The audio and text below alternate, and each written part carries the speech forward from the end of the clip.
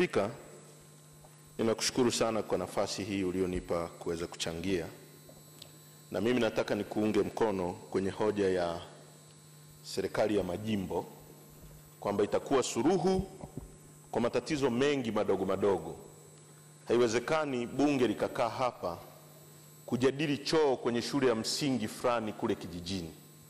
Haya mambo yote keki ingegawanywa hapa, halafu mabunge madogo madogo kwa maana ya halmashauri washughulike kule kupeleka miradi hii ya maji, miradi ya, miradi ya kitaifa ibaki michache ili kusaidia wananchi kupata maendeleo kwa haraka.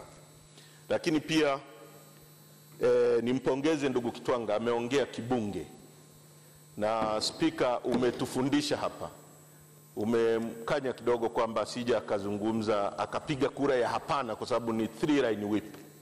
Kwa nafikiri na wabunge wa CCM mtuelewe, sisi tunapopiga kura ya hapana kukataa bajeti yenu, kwa sababu utaratibu ni huo, lakini pia mnakuwa mambo mengi hayako sawa. Mheshimiwa Spika, jambo la pili ni jambo la korona. Waziri Mpango alituambia hapa tunapoanza kwamba wameunda kamati mbalimbali zinashughulika na haya masuala eh, alafu watatuletea hapa taarifa. Hili ndio bunge la wananchi, hiki ndio chombo kikuu, supreme organ ya wananchi, ambayo inaweza kuja hapa ikaangalia swala hili kwa undani na kuishauri serikali na hata kutafuta mafungu kutoka sehemu mbalimbali, ikamega ikapeleka hapa. Sasa hili swala, Mheshimiwa Spika, linazidi kuwa na taharuki, na kwa siku mbili tatu hizi ambazo hakuna update yoyote, mitandao ya kijamii mambo yanazidi kuleta kuchanganya sana. Sasa hivi imeonekana kule Dar es Salaam maiti imetupwa barabarani, imechukua muda mrefu sana kuja kuokotwa, video zinasambaa, nafikiri na wewe umeziona. Mheshimiwa Spika, naomba sana bunge hili lifanye kazi hii ya muhimu ya wananchi, tujadili hili swala, tuelekeze serikali, na hili swala sio la chama, sio la nini, tusije tukaingia kwenye matatizo makubwa ya kupoteza watu wengi. Na kusihi sana Mheshimiwa Spika. Jambo la pili, Mheshimiwa Spika, tunapozungumza hapa maji yamechuruzika Nyamongo, maji ya sumu kutoka kwenye TSF inayotunza maji ya sumu pale yameingia kwenye miji ya watu. Mheshimiwa Spika, mgodi umechukua hatua za dharura, na niliongea na waziri wa mazingira asubuhi, lakini naongea na nyie kwa sababu ndio mnahusika na maji haya machafu. Mgodi umechukua hatua za dharura kuchukua pampu na kuweka kwenye TSF. Umepampu maji kutoka kwenye TSF unapeleka kwenye eh, sehemu inaitwa Ramapit. Sasa Ramapit kule chini hawajatandika lile zulia gumu ili kuzuia yale maji kuende, kupenetrate kwenda chini, ambayo yanakwenda kwenye visima moja kwa moja na yataua watu. Mheshimiwa Spika, juzi serikali iliupiga mgodi eh, fine kwamba wamekuwa wakichuruzisha maji ya sumu ambayo yamesababisha mauaji ya watu wa Nyamongo. Sasa kwa sababu yale maji yalikuwa yanakwenda kisiri, hapa nina video za maji yanachuruzika kwa spidi yanakwenda mpaka Mtomara na pengine yatakwenda ziwa Victoria, yataleta athari kubwa sana kwa maisha yetu. Naomba sana waziri, ili ni jambo la kidharura uji utuambie ni hatua gani mnachukua kwa dharura kurescue maisha ya watu wa Nyamongo. Hatutakubali tena watu wafe kwa wingi kiasi kile kwa sababu ya maji ya sumu yanayochuruzika kwa sababu ya uzembe wa watu kushindwa kuanticipate masuala haya ambayo ni ya usalama wa maisha yetu. Hilo ni jambo la pili. Jambo la tatu, Mheshimiwa Aweso, ulikuja Sirari na ulikuja wakati mimi na ugu, kaka yangu amefariki lakini kwa uzito wa mradi ule wa maji wa Sirari ambao tulipewa pesa na African Bank tangu mwaka elfu mbili na tisa huo mradi wenzetu wa Kenya pesa zikapitia East Africa. Wenzetu wa Kenya walishakamilisha mradi wao tangu mwaka elfu mbili na kumi na mbili. Leo tunazungumza mwaka elfu mbili na ishirini. Halmashauri sisi tumejitahidi, tumenunua eneo tukajenga tenki mmeshindwa kuleta shilingi bilioni moja na milioni mia mbili mradi ambao unge, ungesaidia kutatua matatizo ya maji kwenye kata tatu kata ya Regicheri, kata ya Gwitirio na kata ya Sirari ambazo zina watu zaidi ya elfu sabini na tano. na wewe ulikuja pale waziri, tukiwa na wewe tumezungumza, umekagua mradi, imekuwa kimya kama anachozungumza spika hapa. Sasa hapa baadaye mtu anasimama anatuambia si tumpongeze. Hivi mimi nakupongeza kwa lipi? Nakupongeza kwa kunyima watu wasirari maji ambao wanaendelea kuteseka hasa kipindi hiki cha korona. Pesa hizi ambazo tumepewa na be, wengine wameshazitumia. Kenya mradi wao unafanya kazi.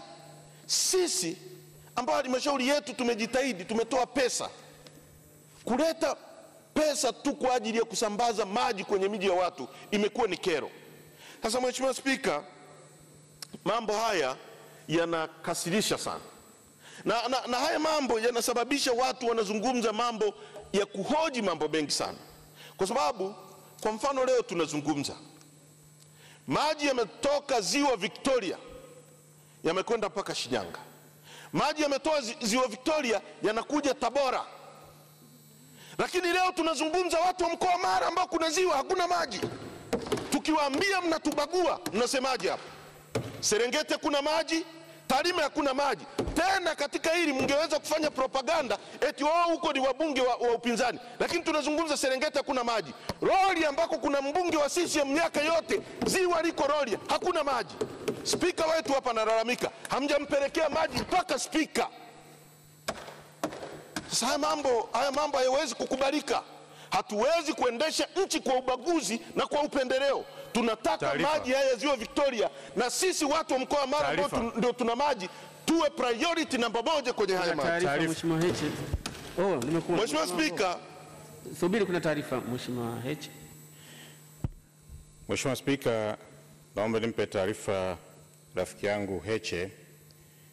Analalamika kwamba kwake hakuna maji, lakini Mheshimiwa Spika, halmashauri yake wanapokea fedha toka kwenye mgodi sio chini ya bilioni tatu ambazo angeweza kuzipangia katika miradi ya maji, lakini vile vile Mheshimiwa Spika, ukiangalia kwenye randama kila halmashauri zote 185 zimepangiwa fedha kwa ajili ya miradi ya maji.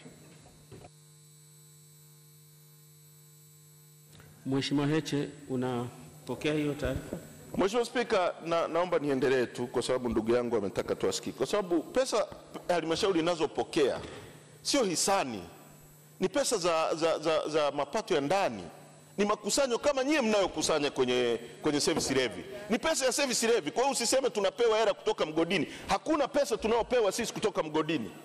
Kwa hiyo Mheshimiwa Spika, hizi pesa nazo zimepangiwa, ndio maana sisi tuna vituo tisa vipya vya afya na hospitali ambayo tumejenga. Kigwangara najua alikuja kukagua pale kwa oni sosi hiyo hiyo ambayo ni pesa ya nani. Kwa hiyo usilete ya mambo hayahusiani kabisa. Sisi tunataka mradi mkubwa wa ziwa Victoria kwa sababu sisi ndio tuna ziwa liko mkoa wa Mara. Haiwezekani maji yakatoka mkoa wa Mara yakaenda mpaka Tabora.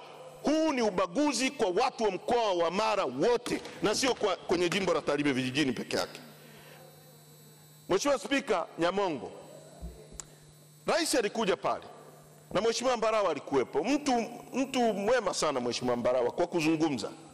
Mheshimiwa Rais akamuita pale akamwelekeza kuhusu ule mradi ambao ulikuwa ni White Elephant pale, na akaahidi ndani ya wiki mbili atakuwa ameushughulikia Taarifa tangu mwaka elfu mbili na kumi na saba mpaka leo. Naomba nimpe taarifa mzungumzaji. Kuna taarifa kutoka kwa Asante sana na mheshimu Mheshimiwa Heche, Mheshimiwa tafadhali sana, kama unaomba maji omba maji, lakini kuanza masuala ya ubaguzi, wakipeleka maji Tabora inakuuma nini wewe?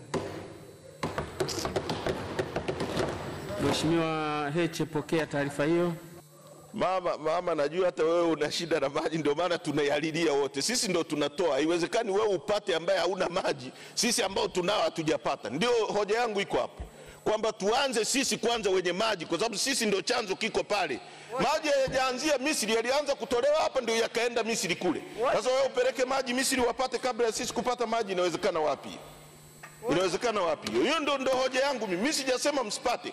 Mimi nia yangu na miaka yote nimesema hapo, watu wote nchi nzima wapate maji, lakini kwanza sisi tuna, wenye chanzo ndio wao wa, wao wa mwanzo sisi kuwekewa maji pale, kwa sababu yako karibu. Mheshimiwa Spika, kuhusu swala la maji ya Nyamongo na Mheshimiwa Mbarawa, kwa sababu hiyo ndio maana mimi nimesema kuhusu hili swala la sumu ambalo maji yameingia jana itakuwa disaster kwa sababu tungekuwa tumekamilisha ule mradi ambao uliahidi pale mbele ya rais kwamba utaushughulikia ndani ya miezi miwili mitatu, leo tusingekuwa tunazungumza kuhusu hilo swala.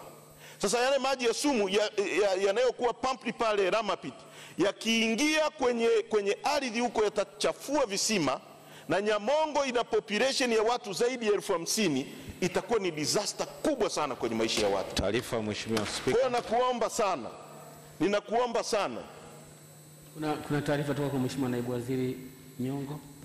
Mheshimiwa Spika, napenda kumpa taarifa Mheshimiwa anayechangia kwamba TSF ile ya Nyamongo anayolalamikia kwamba inavujisha maji ya sumu, ni kweli kwamba mwanzoni palikuwa na technical problems ambazo lile bwawa walikuwa wanavujisha maji ya sumu ambayo kwa kweli tulichukua hatua.